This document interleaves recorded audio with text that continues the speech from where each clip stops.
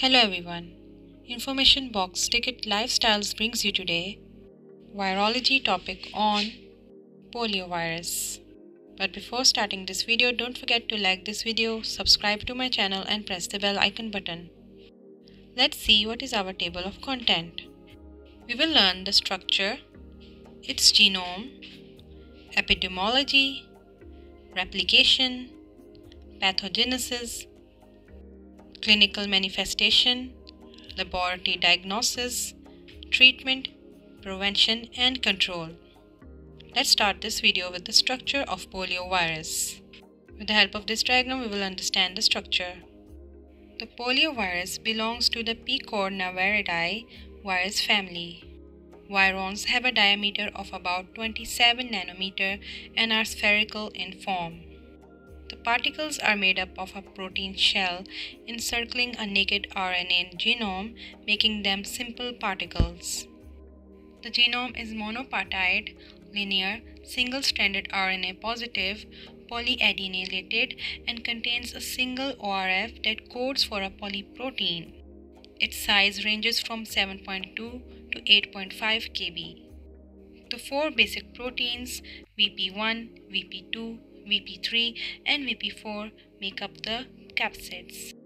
The protomer, which has one duplicate of each of the three capsid proteins, VP1, VP2, and VP4, is the fundamental component of picornavirus capsid.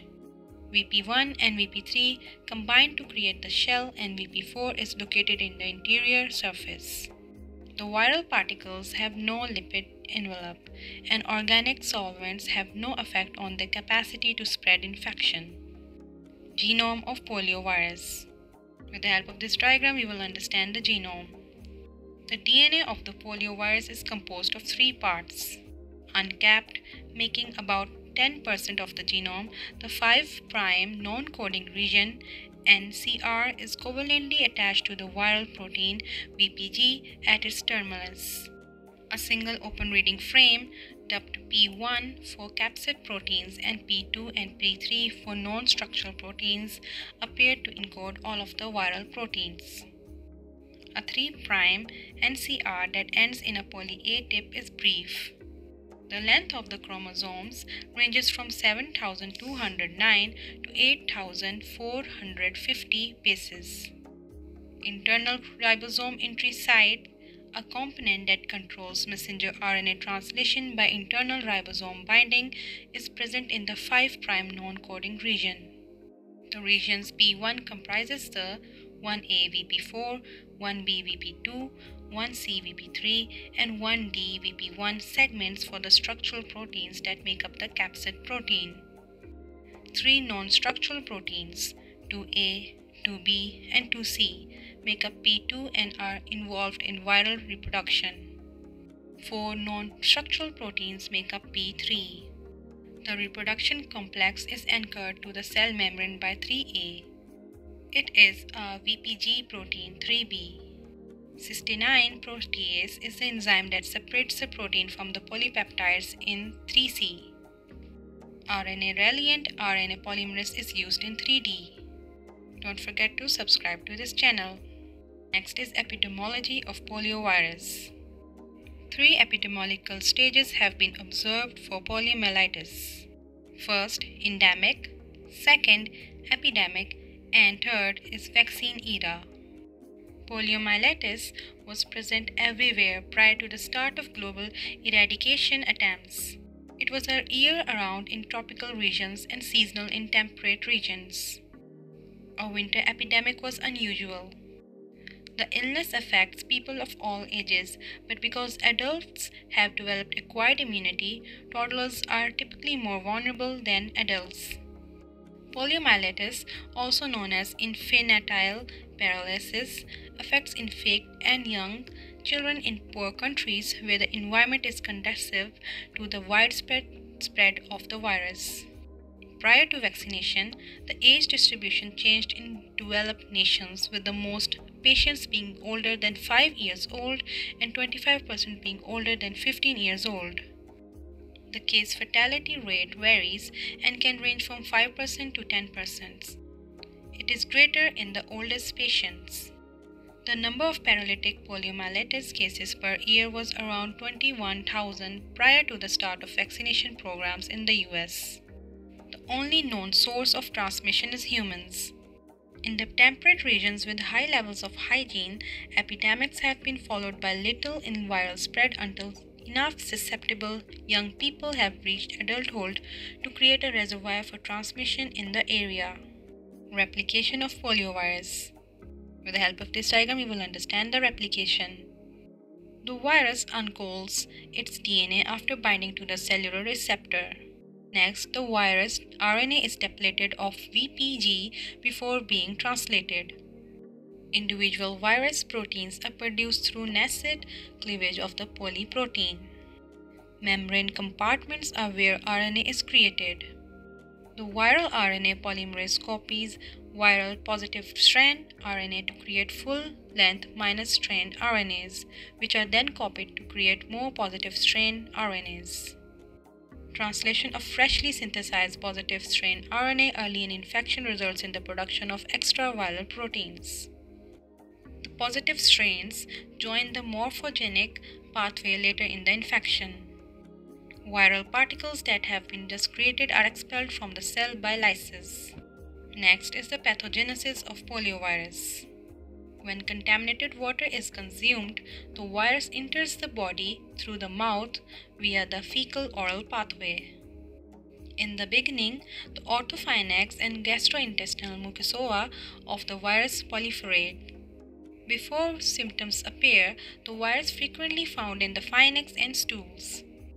The protease, other digestive enzymes, and bile lactic activities cannot harm viruses because they are immune to stomach acidity. The tonsils and Peyer's patch of the ileum are the first parts of the body the virus enters and spreads to. A 9 to 12 day incubation time is required. Following this, the virus spreads to the nearby lymph nodes before entering the blood and producing primary viremia. Early in the illness, typical before paralysis sets in, antiviral antibodies start to manifest. To stop an infection from expanding, antibodies are created. Invading the bloodstream and producing secondary viremia, the virus multiplies and infects the reticular endothelial system over time. The poliovirus crosses the blood brain barrier and enters the brain during this time of viremia. The virus particularly combines with neural cells, demonstrating tissue trophism. The dorsal root ganglia, motor neurons, and anterior horn of the spinal cord all have receptors that the virus can detect. Paralysis results when motor nerves are lost. Virus infection of the brainstem results in bulbar poliomyelitis. Next is clinical manifestation of poliovirus. The initial symptoms of viremia, which last for 1 to 5 days, include temperature, malaise, headache, drowsiness, constipation, and sore throat. The incubation phase lasts for 10 days on average, but it can also be 4 days or 4 weeks. Number 1. Asymptomatic illness.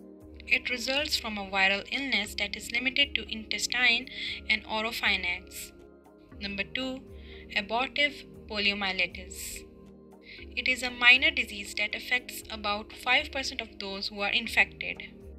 It is a febrile illness that includes vomiting, nausea, headaches, sore throats, lack of appetite, and abdominal discomfort. Typically, neurological signs are non existent. Number 3. Non paralytic poliomyelitis. Some individuals who experience polio symptoms get a type of polio that doesn't cause paralysis.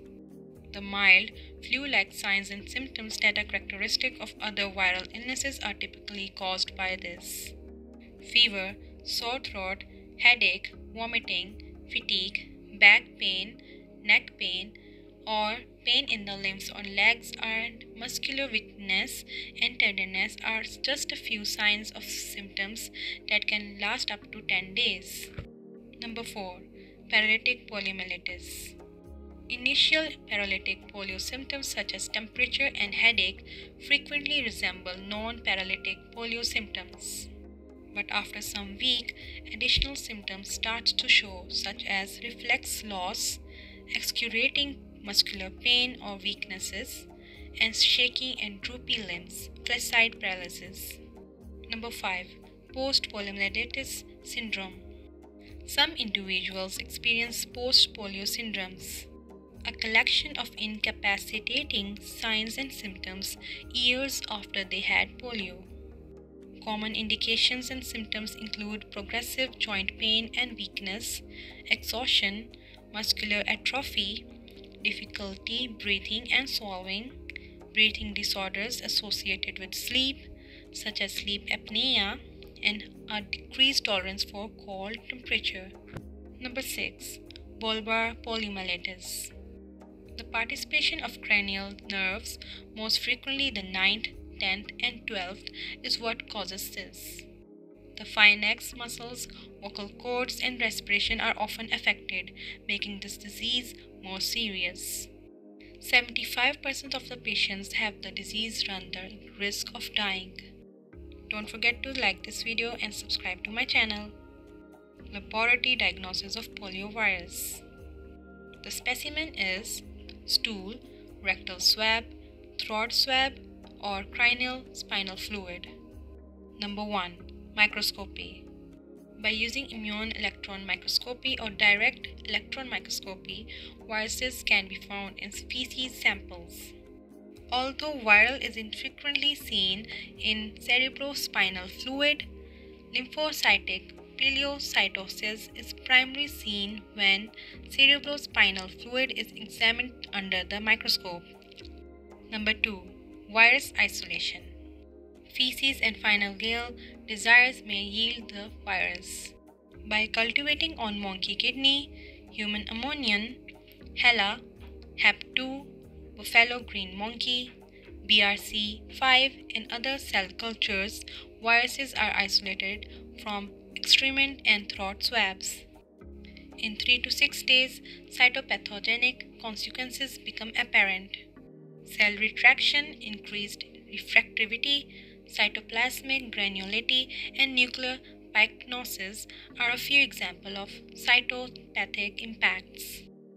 By neutralizing an isolated virus with a particular antiserum, it can be recognized and typed. Number 3. Serodiagnosis. Evidence of a fourfold rise in antibody titer in serum samples taken during an acute illness and during a period of recovery. To prove the existence of antibodies, neutralization and complement fixation tests are conducted. Number 4. Molecular diagnosis. Virus detection can also be accelerated using polymerase chain reaction tests. Treatment of poliovirus. Unfortunately, there are no antiviral medications available to cure poliomyelitis. Prevention and control of poliovirus. To lower the risk of transmission in endemic countries, better sanitation, hygienic practices, and water availability are crucial. The mainstay of the fight to eradicate polio is immunization, and both live and killed viral vaccines are available. Salk, a vaccine made from viruses produced in monkey kidney cultures, is formalin inactivated. Vaccines for a killed virus elicit humoral antibodies but not local intestinal immunity, allowing the virus to continue to grow in the gut. In male monkey or human diploid cell cultures, the live attenuated virus Sabin is grown before being administered orally. The live polio vaccine grows within the host, immunizes it against virulent strains, and spreads infection. The vaccine results in the production of secretory IgA antibodies in the intestinal, in addition to immunoglobulin M, IgM, and IgG antibodies in the blood, allowing mucosal immunity. Live and killed viral vaccine both produce antibodies and shield the central nervous system from future wide virus invasion. In the past, oral polio vaccines was the most widely used vaccine in global campaigns and it is still used in endemic regions. Its benefit from inducing intestinal and humoral immunity as well as being affordable and simple to give. However, after receiving the live virus vaccine, the gut exhibit a much higher level of resistance, suggesting that it may serve as a potential interference limiter for oral vaccines. The drawback is the negligible chance of vaccine associated paralytic poliomyelitis, which affects 4 out of every 100,000 immune children and unvaccinated contacts. The intramuscular injection of inactivated poliovirus vaccine carries no danger of vaccine associated paralytic poliomyelitis. Inactivated vaccines has the drawback of not creating intestinal immunity, being ineffective at containing outbreaks, being more costly, and requiring better trained personnel for delivery. Over the past few decades, oral polio vaccine use in European nations have progressively given way to inactivated polio vaccine use, and all EU member states now use inactivated polio vaccine in their childhood immunization programs. So that's it for today. Thank you so much for watching till the end. Don't forget to like this video, subscribe to my channel and press the bell icon button. Thank you.